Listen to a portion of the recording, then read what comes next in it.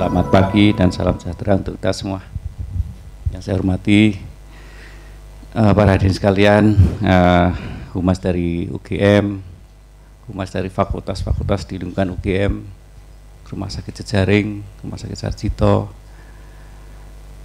para narasumber yang saya hormati Bapak Thomas Franky dari Fortune PR, PR dan juga Bapak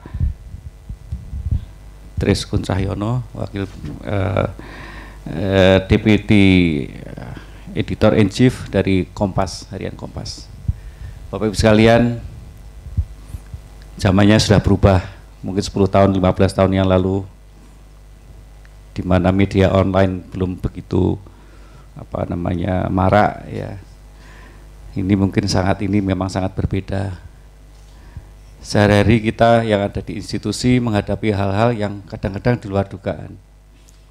Mungkin di Sarjito tidak hanya masalah kesehatan, juga di Fakultas Kedokteran tidak ada masalah pendidikan, tetapi sudah menjadi satu hal-hal yang bisa apa namanya mengganggu kehidupan kita, ya, yang mau tenang-tenang tapi tidak bisa ternyata. Karena itu dalam sistem yang ada sekarang ini dimungkinkan suatu hal-hal yang sudah saya bicarakan dengan Pak uh, Thomas tadi. Memang ada suatu sistem di mana kita bisa bekerja dengan baik, dengan tenang, menghadapi segala sesuatu yang berhubungan dengan media. Bagaimana kita mengimplementasikan apa namanya hal-hal yang kita punya kepada masyarakat dan bagaimana kita bisa menangkal ataupun menjawab pertanyaan-pertanyaan dari masyarakat.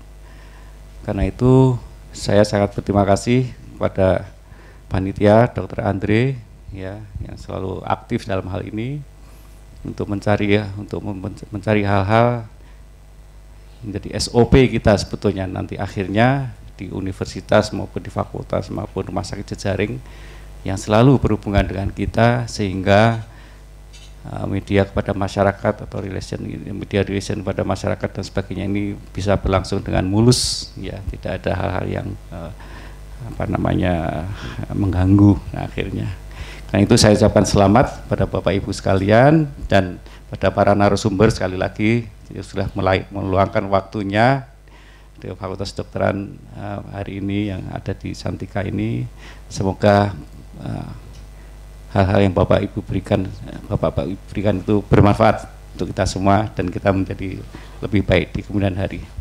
Terima kasih. Wassalamualaikum warahmatullahi wabarakatuh.